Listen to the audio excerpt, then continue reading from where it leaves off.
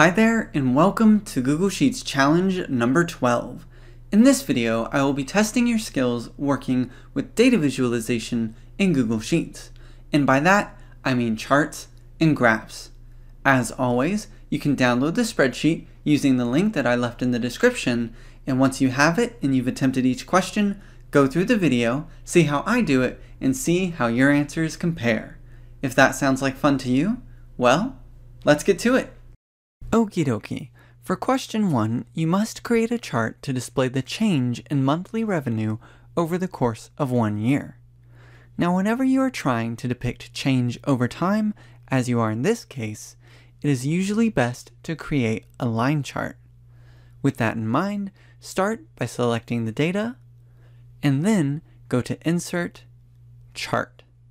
Google Sheets will try and guess which chart you want. In this case, it guessed correctly. However, if Google Sheets ever gets it wrong, you can always change the chart type by looking in the panel on the right, and under Chart Type, you can select the chart that you want. That said, you now have a chart showing the change in revenue over the year. The last thing that you might want to do is double click on the title and change it to yearly revenue. Awesome. That completes question one, so let's move on to question two. For question two, your task is to create a chart to compare the sales performance of the four regions. Now, whenever you are asked to compare numerical values of more than two nominal categories, even percentages, it is best to use a bar or column chart. So in this case, let's create a bar chart. Start by selecting the data and then go to Insert, Chart. In this case, Google Sheets creates a pie chart, but that is not what we want. We want a bar chart instead. So, in the panel on the right, change the chart type to bar chart. And just like that, you have a chart comparing the sales performance of each region. Now, if you are still curious as to why I selected a bar chart here instead of a pie chart, I highly encourage you to read the two articles that I have written on the subject, and you can find links to these articles in the description. That said, let's move on to question 3. For question 3, your task is to create a chart showing the distribution of units sold, and you must display the distribution in groups of 10. Now, whenever you need to depict the distribution of data, a histogram is often an excellent choice. So, to create a histogram, select the data, and then go to Insert, Chart.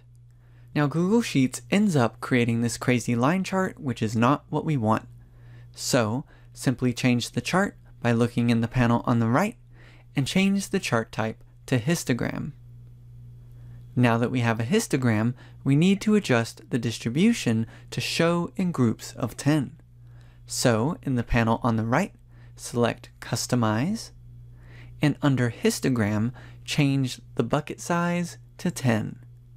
Now for the finishing touch, double-click on the chart title, and change it to Distribution of Units Sold.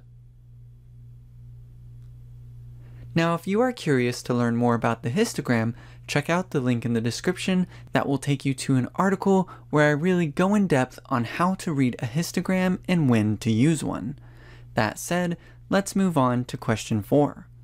For question 4, your task is to create a chart showing the correlation between the two metrics.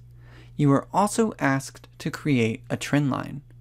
Now, anytime you want to try and show the correlation between two numerical values, then you want to build what's called a scatter plot.